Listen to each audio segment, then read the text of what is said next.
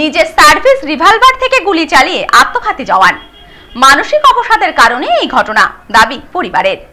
চাকধার বাসিন্দা এসএসবি জওয়ান বর্তমানে আসামে কর্মরত ছিলেন। কর্মরত অবস্থায় আত্মঘাতী এসএসবি জওয়ান। নিজের সার্ভিস রিভলভার থেকে গুলি চালিয়ে আত্মঘাতী হলেন এক এসএসবি জওয়ান। বর্তমানে আসামে কর্মরত ছিলেন ওই জওয়ান। সোমবার রাতে কফিনবন্দি অবস্থায় তার দেহ বাড়িতে নিয়ে আসা হয়। জানা যায়, নদিয়ার চাকদাহ থানার সান্নালচরের বাসিন্দা কৌশিক বিশ্বাস। বয়স আঠাশ বছর। পাঁচ বছর আগে দু হাজার সতেরো সালে তিনি এসএসবি ব্যাটালিয়নে যুক্ত হন। বর্তমানে আসামে কর্মরত ছিলেন। হঠাৎই দপ্তরের তরফ থেকে পরিবারের কাছে ফোনে তার মৃত্যুর খবর দেওয়া হয়।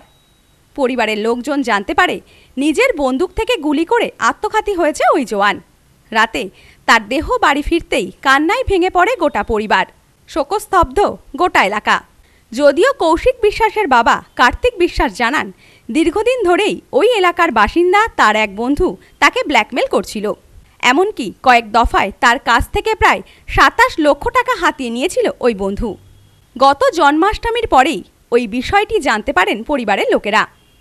তাদের প্রাথমিক অনুমান সেই কারণেই মানসিক অপসাদে ভুগছিলেন কৌশিক, যার কারণে তিনি গুলি করে আত্মঘাতী হয়েছেন। পাশাপাশি তারা বলেন, এ বিষয়ে স্থানীয় থানায় লিখিত অভিযোগ জানাবেন। জানা গেছে, এসএসবি ব্যাটালিয়নের তরফ থেকেও খতিয়ে দেখা হচ্ছে কি কারণে কৌশিক আত্মঘাতী হলেন। গোটা ঘটনায় শোকের আবহ এলাকা জুড়ে। ব্ল্যাকমেল করে বহু টাকা নিয়ে নিয়েছে ওর এক বন্ধু। এখন তো আমরা জানতে না বৌমা মোবাইল স্ট্যাক করি, তারপরে আমাদেরকে বলে।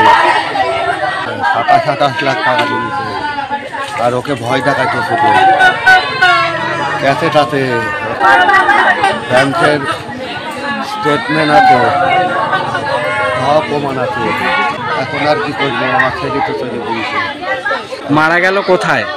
এটা আসামে। কালকে রাত্রিরে এগারোটার সময়ও ফোন করেছে ওর মার কাছে। আমি তখন শুরু করেছিলাম। ওই শেষ ফোন তারপর আর ফোন